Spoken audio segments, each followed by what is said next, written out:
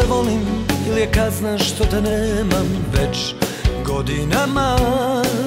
Mislio sam čemu život kad si ti na drugoj strani broda Potonulo. Još u meni živi nada S tobom isto je i sada čekam Poziv tvoj. Par koraka ja sam tu pred tvojim vratima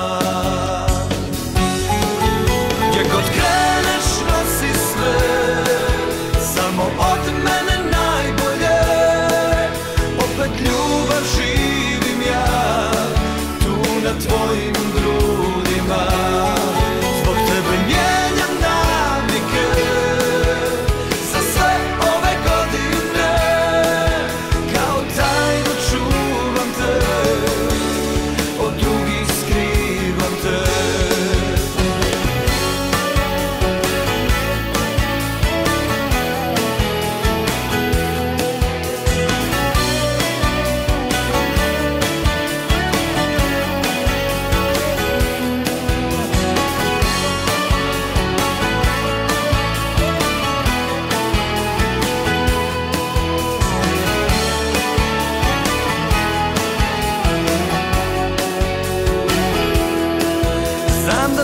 pitaš za mene, šalješ tajne poruke kao nekada Milion razloga je ljubav vrijedna tvojih dodira.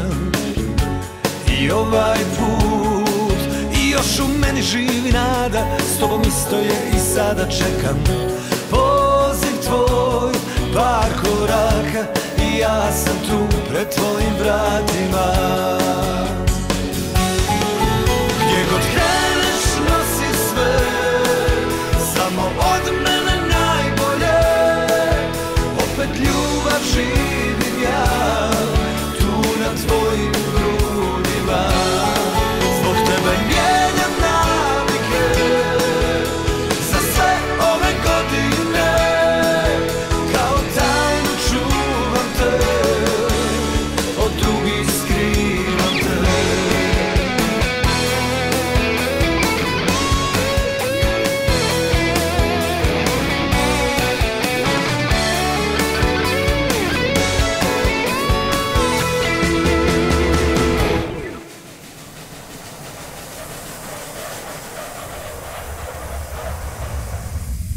Gdje god kreneš nosi sve